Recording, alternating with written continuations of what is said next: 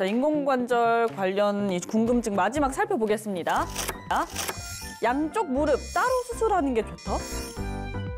워낙 큰 수술이니까 눈도 저기 녹내장도 한쪽 하고나 한참 있다 할래 이런 분들도 아니, 계시거든요. 그거 아니고 사랑니도 어, 한쪽 먼저 맞아, 뽑고 맞아. 좀 있다가 또 뽑잖아요 왼쪽도 어떻습니까? 예, 인공관절 수술을 할 당시에 양쪽 무릎이 너무 심해서 동시에 수술을 하는 게 좋으냐, 한쪽을 하고 일정 기간이 지나서 반대쪽을 하는 게 좋으냐 이 문제인데 네. 70세가 안 되고 또 건강 상태가 굉장히 양호한 사람의 경우는 양쪽을 동시에 할 수 있습니다.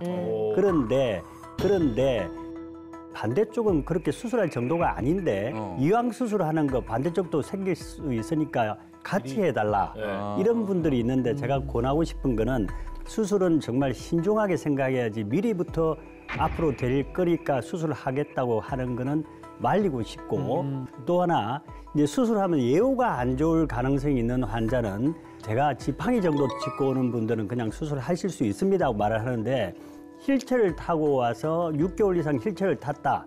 그렇게 되면 근육이 굉장히 안 좋다고 판단이 되기 때문에 수술하고 나서도 회복이 굉장히 힘들어져서 예후가 안 좋을 가능성이 많으니까 너무 오래 지체하지 마시고 과거에는 제가 10년 전만 해도 80이 넘으면 수술 안 아, 해요. 좀 네. 힘들시킵니다. 그러나 지금 굉장히 고령화 사회이기 때문에 상태를 보고 건강하시다면 수술하십시오. 제가 권하고 있습니다.